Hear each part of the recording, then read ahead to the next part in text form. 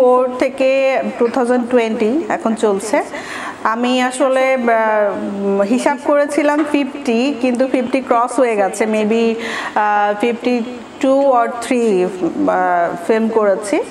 এখনও রানিং চলছে একটা নতুন মুভির রানিং চলছে ইয়েস ম্যাডাম এটা চলবেই। আর আমি জানি না যে কত বছর পর্যন্ত ছবি করব, কারণ যেহেতু এখন রক্তের মধ্যে অভিনয়টা মিশে গেছে সবচেয়ে বড় কথা যে তখন অভিনয়ের নামে কাঁপতাম, কাঁপাকাপি করতাম বাট এখন অভিনয় না করলে আমি বাঁচতে পারব না, সত্যি কথা। আচ্ছা একটি প্রশ্ন হচ্ছে, যেটি আপনি নিজেও জানতেন যে, চলচ্চিত্র মানে অশ্লীলতার জায়গা, চলচ্চিত্র মানে খারাপ জায়গা। তো সবকিছু এসে যে আপনি যখন একজন শিল্পী হিসাবে চলচ্চিত্রে কাজ করা শুরু করলেন, এখান থেকে আপনি আসলে দর্শকদের উদ্দেশ্যে কি বলবেন? আপনার অভিজ্ঞতা কি বলে যে আসলে চলচ্চিত্র মানুষ যেভাবে বাইরের থেকে খারাপ মনে কতটা খারাপ? আমি শু- আমি যেমন আছে না যে লোকে কান কথায় অনেক কিছু মনে করে যে কান, চিলে কান নিয়ে গেল, কানের দিকে না তাকায়, আমি চিলের দিকে তাকাই, এরকম একটা বিষয়। আসলে যখন আমি কাজটা করলাম সিনেমা যখন শুরু করলাম, তখন আমি মনে করি যে সিনেমাতে অভিনয়ের থেকে বা এই জগৎটাতে যদি সবচেয়ে বড় কথা হলো যে আমি একজন মানুষ। আমি আমাকে কীভাবে প্রেজেন্ট করব, আমি একটা জায়গায় পরিবেশে কীভাবে নিজেকে খাপ খাওয়াবো সেটা সম্পূর্ণ নির্ভর করবে কিন্তু আমার উপরে। আমি এখন একটা জায়গায় ধরেন যে একটা জায়গায় পড়তে যাচ্ছি বা একটা জায়গায় অফিসে সার্ভিস করতে যাচ্ছি। আমি নিজে যদি খারাপ হই, তাহলে তো সেখানে আপনাকে খারাপ বানানোর কেউ নাই। আর আপনি যদি ভালো থাকেন, তাহলে সেখানে আপনাকে তো কেউ ডিস্টার্ব করবে না। সবচেয়ে বড় কথা এটা। সেটা মানে যে কোনো জায়গায় আমি মনে করি। সবাই ফিল্মের কথাটা বলে মিডিয়া জগতের কথা বলে, কিন্তু মিডিয়ার বাইরেও আপনার পাশের বাসাতেও কিন্তু অনেক খারাপ কাজ চলে। আপনি কিন্তু সেটা জানেন না। বাট মিডিয়ার দিকে সবাই তাকায় থাকে কেন? যে মিডিয়ার লোকজন কি করছে সেটা কিন্তু মানুষ অনেকে মানে খোঁজার চেষ্টা করে, জানার চেষ্টা করে, জানার আগ্রহ থেকেই হয়তো বা। কারণ পাশের বাড়ির ভাবি কি করছে সেটা কিন্তু কারও জানার আগ্রহ থাকে না। বাট আমি মনে করি যে আমরা সবচেয়ে বেশি সেফলি কাজ করি আমাদের পরিবেশটা অনেক ভালো, নিরাপদ এবং আমরা নিজেদেরকে সেফ রাখতে পারলে সেটা যে কোনো জায়গায় হোক না কেন ভালোভাবেই আমরা বাঁচতে পারব।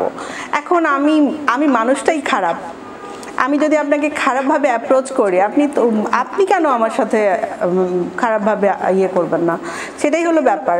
তবে আমার দেখা মধ্যে যে আমি যা শুনেছি, যা জেনেছি ফিল্ম ইন্ডাস্ট্রিতে কাজ করার পরে, আমি মনে করেছি যে আমার ফ্যামিলি মেম্বারের সাথে যেভাবে আমি বসবাস করেছি ঠিক ফিল্ম ইন্ডাস্ট্রির মানুষও আমার ফ্যামিলি মেম্বার যাদেরকে ছাড়া আমি চলতে পারব না, বাঁচতে পারব না। যেহেতু সকাল চারটা থেকে রাত এগারোটা পর্যন্ত এই মানুষগুলোর সাথেই আমার থাকতে হতো, সবাই আমার ফ্যামিলি মেম্বার মোর দেন আমি সবগুলো ইয়ের সাথে হিরোদের সাথে কাজ করেছি। শুধুমাত্র রিয়াজ ভাই ছাড়া রিয়াজ ভাইয়ের সাথে আমার কাজ করা হয়নি। ইভেন আমার মান্না ভাইয়ের সাথেও আমি কাজ করেছি একটা ছবিতে। মান্না ভাই মারা যাওয়ার আগে বলেছিল যে তুমি আমার সবচেয়ে ছোট হিরোইন মানে মারা যাওয়ার সময় আমাদের একটা ছবি রিলিজ হয়েছিল অবুধ শিশু। ওটা একসাথে করেছিলাম। তাছাড়া আমার মনে হয় না যে কারোর সাথে ছবি করা বাদ আছে। আমি সবার সাথেই কাজ করেছি। তোমার সাথে করা হয়নি? কিন্তু জানতে চাই আসলে হিরোদের মধ্যে কারা কাদের সাথে সবচেয়ে বেশি কাজ করেছে? আমার তো সবার সাথেই কাজ করতে ভালো লেগেছে, সত্যি কথা। আর সবচেয়ে বেশি কাজ হয়েছে আমার দীপজল ভাইয়ের সাথে। দীপজল ভাইয়ের সাথে আমি অনেকগুলো কাজ করেছি একসাথে। সাকিবের সাথে করেছি। ইমনের সাথে অনেকগুলো কাজ করা হয়েছে। তাছাড়া প্রত্যেকজন হিরোর সাথে একটা একটা করে মুভি তো অবশ্যই হয়েছে করা। তো দীপজল ভাইয়ের সাথে হয়েছে কি যে আমার, যেহেতু অনেকগুলো ছবি করে গিয়েছি, তো একই টাইপের একই প্যাটার্নের যেহেতু ছবিগুলো ছিল, গল্পগুলো, তো একসাথে ওনার সাথেই বেশি কাজ করা হয়েছে। বাট আমার কাছে একটু- ব্যতিক্রমভাবে দর্শকদের জানার আগ্রহ থেকে একটা প্রশ্ন সেটা হচ্ছে যে দীপজল ভাই ভিলেন হিসেবে বেশি কাজ করছে ছবিতে। কিন্তু যতগুলো পজিটিভ ছবিতে কাজ করছে দীপজল ভাই পাশে আপনি ছিলেন। এবং দীপজল ভাই একজন পজিটিভ মানে আর্টিস্ট হিসাবে কিন্তু সাকসেস যেটা আমরা রাজীব ভাইকে দেখছি। হ্যাঁ যেরকম ভিলেন হিসেবে মানুষের গালি খাইছে আবার নেগেটিভে এসে পজিটিভ এসে কিন্তু কাঁদাইছে। দীপজল হ্যাঁ। ভাই সেম যখন আপনি হ্যাঁ। হ্যাঁ। তো দীপজল ভাইয়ের আপনি কোন মুহূর্তটা যে সে ভিলেন থাকাকালীন নাকি ভিলেন থেকে যখন পজিটিভে আসে কোন সময়টায় পাশে ছিলেন?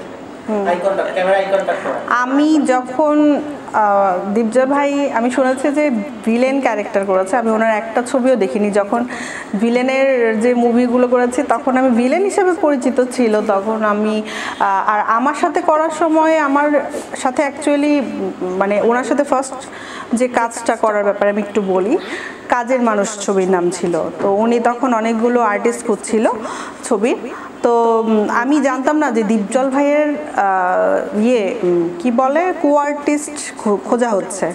তো আমাকে আকবর ভাই কল দিল, যাওয়ার পরে দেখি অনেকজন নায়িকারা বসে আছে, রত্না থেকে শুরু করে রোমানা আপু সবাই তখনকার, সাহারা সবাই আছে।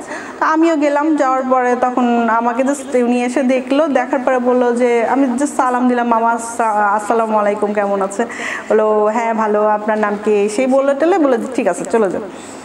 এর পরের দিন কল করল যে শুটিং আমি কিন্তু জানি না যে আমার ক্যারেক্টার কি, আমি কোন ছবি করছি এবং আমার কো আর্টিস্টকে আমি কিছু জানতাম না। কারণ আমি আসলে হয়েছে কি, তখন রেসপেক্ট করতাম সবাইকে যে আমি এক number Momtajur Rahman Akbar director production হলো আমির বনি কথাচিত্র। সেখানে তো আমি যদি কোশ্চেন করি যে আমি কার বিপরীতে, সেটাও একটা প্রবলেম হয়ে যেতে পারে। গেলাম, যাওয়ার পরে আমি তো সবাই মেকআপ নিচ্ছি, আমিও মেকআপ নিচ্ছি। তো রোমানা আপু আমাকে একটা পর্যায়ে জিজ্ঞেস করল, যে আচ্ছা তুই যে মেকআপ নিচ্ছিস, তুই কি জানিস যে তোর ক্যারেক্টার কি? আমি বললাম যে না, আমি তো জানি না আমার ক্যারেক্টার কি। বলে ডিরেক্টরকে ডাক অ্যাসিস্ট্যান্ট ডিরেক্টরকে ডাক, যে তো ক্যারেক্টার কি? ওই হিসাবে না তুই মেকআপ নিবি?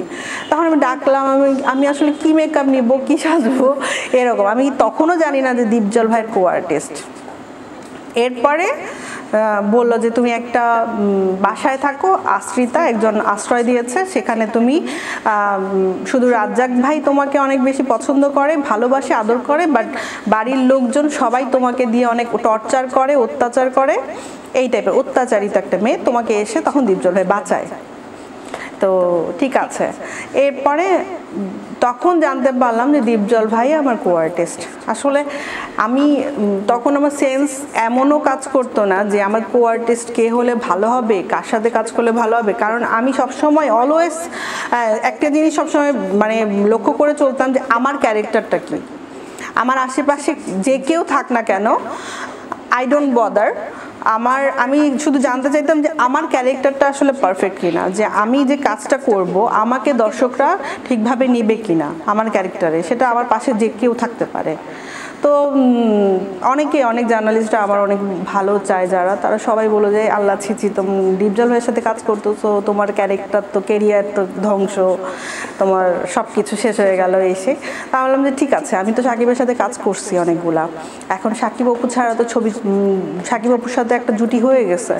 এখন সাকিব ছাড়া ছবি চলে না, তাহলে আমি কার সাথে কাজ করব? ইমন নীরব সবার সাথে কাজ করা হয়ে গেছে। তো ঠিক আছে হতে পারে এটাই আমার জীবনের শেষ ছবি, এখান থেকে কেরিয়ার শেষ আমার, না হলে এখান থেকে কেরিয়ার শুরু। এভাবেই আমি কিন্তু কাজটা করেছিলাম। যখন আমার ছবিটা রিলিজ হলো, আমার মনে আছে কোরবানি ঈদে, তখন শাকিব খানের ছবি ছিল রিলিজ হয়েছে কোরবানি ঈদে। তো জানেনই যে, জানোই যে ছবি, বড় বড় ছবি রিলিজ হয়। মানে আমি বিশ্বাস করতে পারছিলাম না যে হলে নাকি ব্ল্যাকেও টিকিট বিক্রি হয়েছে এবং একটা বেঞ্চের উপরে আরেকটা বেঞ্চ দিয়ে দিয়ে ছবি দেখেছে দর্শকরা এবং আমরা হলে ঢুকতে পারিনি, অনেকগুলো হলে গেছিলাম। তো তখন থেকে আসলে জুটি হয়ে কাজ করাটা যে যখন দীপজল ভাই ওই যে বললা না যে দীপজল ভাই ভালো মানে ভালো ক্যারেক্টারটা করেছে তোমার সাথে, তো তুমি আমার সাইড থেকে আমি বলব যে উনি তখন মনে হয় তখন থেকে সাহসটা পেয়েছে যে